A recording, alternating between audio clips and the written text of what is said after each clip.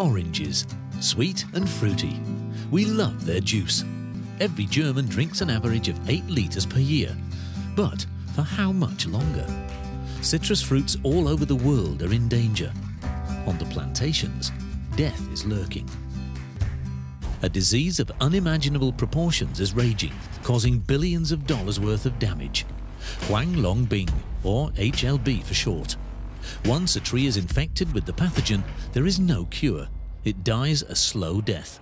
The fruits remain unripe and fall to the ground, inedible.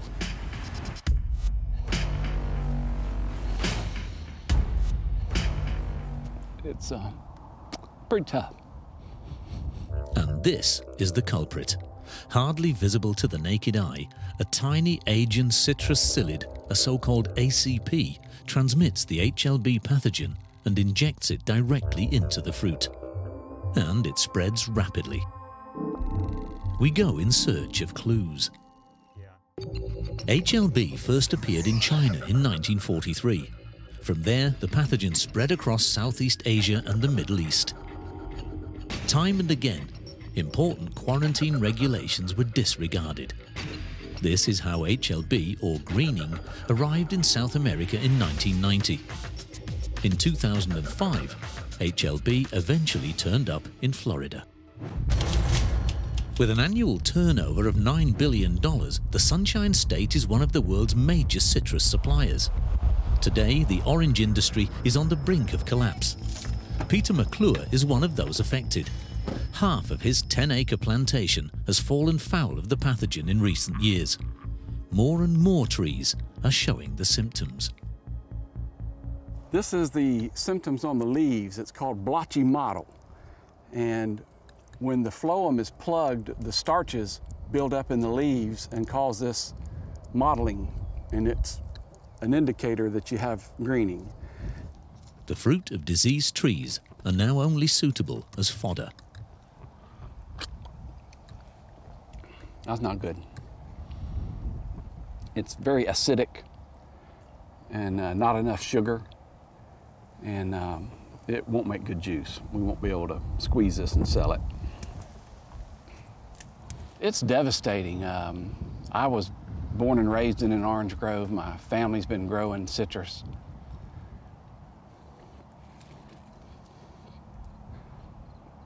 My great, excuse me, my great grandfather planted citrus in 1868, and uh, we've been growing citrus in Florida ever since. Um, it doesn't look like my children will be able to grow citrus. It's uh, pretty tough. Crime scene California. ACPs have now also appeared on the other side of the American continent. The first infection occurred a year ago. The diseased tree was destroyed immediately. Entire regions of the country have been placed under quarantine since then. The situation is serious. One man is fighting on the front line. The head of the Invasive Species Research Center at the University of Riverside, Mark Hoddle. The scientist is working flat out to find effective weapons against the all-powerful enemy. With our California citrus industry being worth about $1.2 billion a year, we're very worried about this disease coming here and ruining our citrus industry. What does invasive species actually mean? There have always been migrations of living creatures, but normally they come up against natural barriers, such as bodies of water, mountains, or deserts. And these migrations are so slow that the resident species have time to adapt to the newcomers. But today, thanks to ships and aeroplanes, invasive species reach places quickly and in large numbers where they have no natural enemies. This allows them to spread unhindered. One way to control some of these invasive species is to use their natural enemies, which have evolved with them, back in their country of origin. That's why Mark travelled to Pakistan in April, because that's where a species of wasp lives that feeds exclusively on ACPs. Mark collected their larvae to produce them in a laboratory. And this is what his biological weapon looks like under the microscope. Just two millimeters in size. The wasps are kept in one of the safest places in California, the campus quarantine facility in Riverside. For fear of terrorist attacks, we are not allowed to show the outside of the $15 million building, because this is where some of the most harmful insects in the world are stored. The station with the wasps and ACPs is on the second floor. We're allowed to accompany Mark. Access is via a sluice room with black light. Inside, there are fluorescent UV light tubes.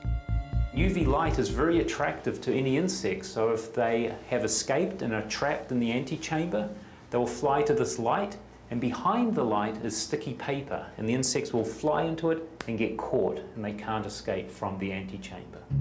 Strict security measures, such as corridors branching in all directions and negative air pressure.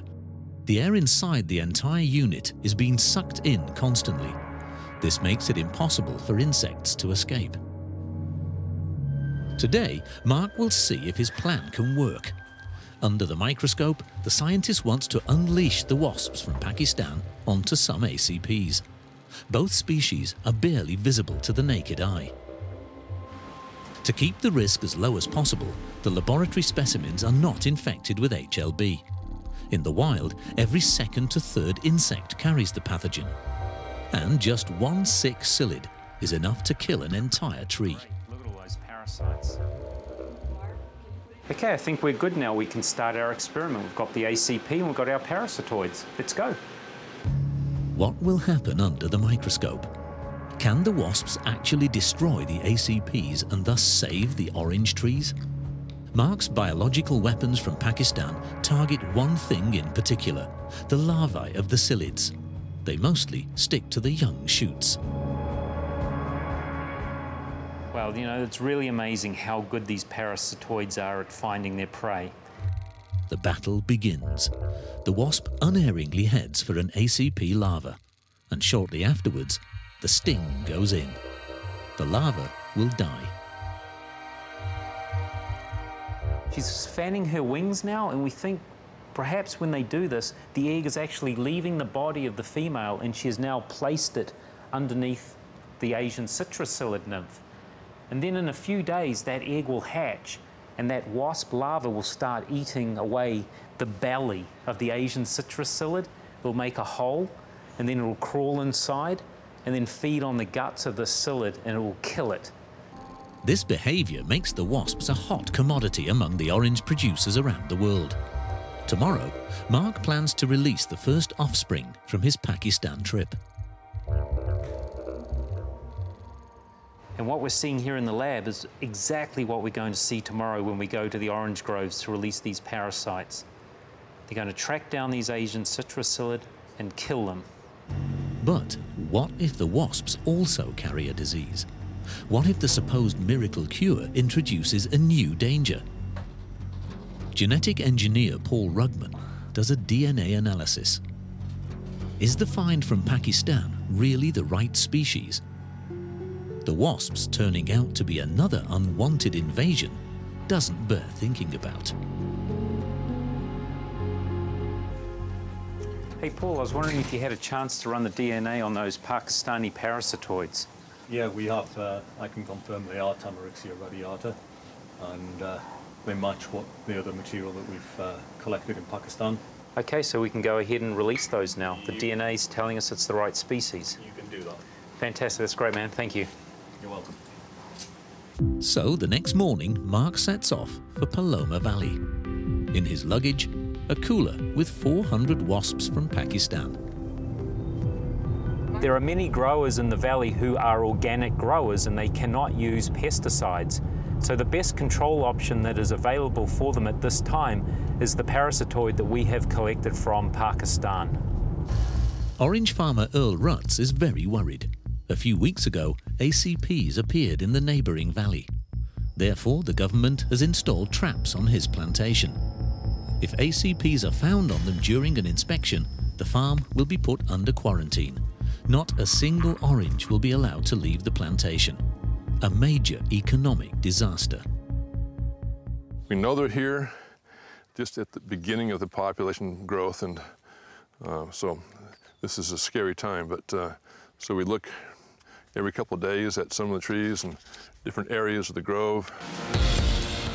With Mark's support, the orange farmer wants to launch a preemptive strike against the menace today. The weapons are ready for action. All that's missing is a strategic point of attack.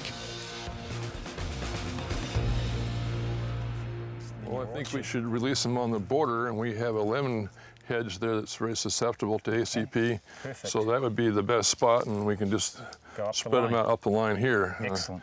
that would be the best. All right, so let's get Okay. going. Let's do this. The operation can begin. First batch of parasitoid Should the wasps not find any ACP leaf suckers, they will starve because their diet allows no alternatives. I know, that'll thinner than I don't want them to find ACP, but they probably will. And so, and this is maybe the best spot. Um, this is a scientific breakthrough of the valley. it's a pleasure. It's great. So well, I'm happy to help. In total, there are already 80,000 wasps in California. Yet, it should never have come to this in the first place. Mark's urgent appeal So the best way to control invasive species is for people simply not to move plants, animals or food from one country to another. So be honest when you enter the country and you declare on your customs forms, I don't have any plants, animals or food on me. That's the best way to stop invasive species spreading. In this case, unfortunately, too late. Is this the end of orange juice as we know it? It's a race against time. Florida has already lost. California can still win the battle if Mark's rescue plan works. And the rest of the world? The coming months will tell.